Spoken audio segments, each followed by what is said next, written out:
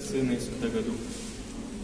Дорогие братья и сестры, мы с вами сегодня слышали евангельское чтение, в котором говорится о том, что ждет каждого, кто последует за Христом.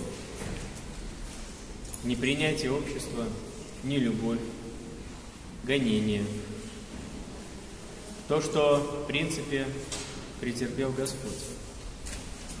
Всякий раз, когда в наших жизнях случаются сложности, трудности, мы негодуем, поднимаем глаза к небу и вопрошаем у Бога, почему так? Так вот, почему так? Ответ мы сегодня с вами слышим.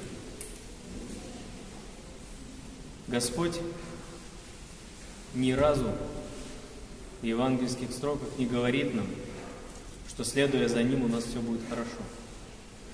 Напротив, Он предупреждает каждого из нас и говорит словами сегодняшнего Евангелия о том, что меня гнали и вас будут гнать. И каждому из нас очень важно это уяснить в своем сердце.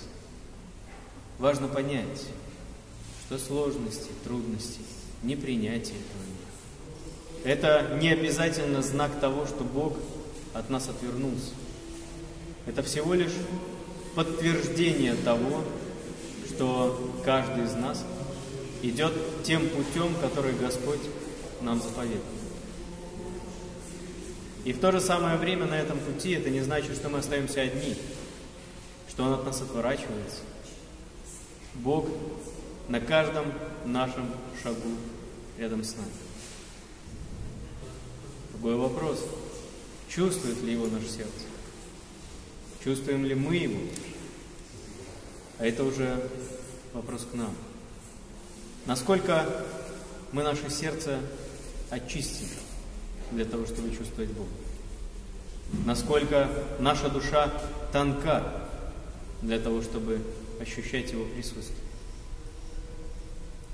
Именно поэтому так и получается порой, что Он рядом, а мы Его не чувствуем.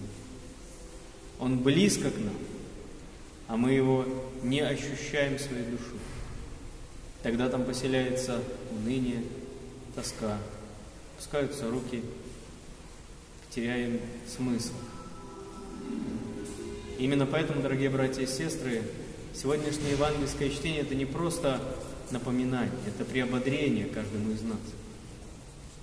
Господь как бы этими строками говорит нам, что приободрись, христианин. Все твои сложности, все твои трудности, все твои неудачи не обязательно от того, что ты делаешь что-то неправильно. Возможно, от того, что ты просто выбрал этот путь. Путь служения ближнему, Богу, путь следования Христовым заповедям, путь быть человеком. И это очень тяжело, это сложно. Такой человек всегда будет выделяться из толпы.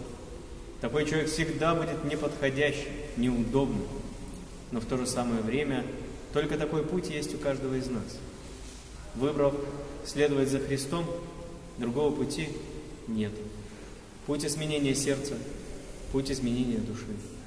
Путь следования заповедям Христовым и воплощения Его образа в наших жизнях. Поэтому, дорогие братья и сестры, будем к этому стремиться, будем об этом помнить и не будем унывать. Особенно, когда сталкиваемся с трудностями. Потому что Господь нам сегодня в евангельском чтении снова и снова об этом напомнил, что это тот путь, которым мы идем. Аминь. Христос воскресе! Воистину воскресе! Причастников поздравляю с принятием святых Христовых тайн.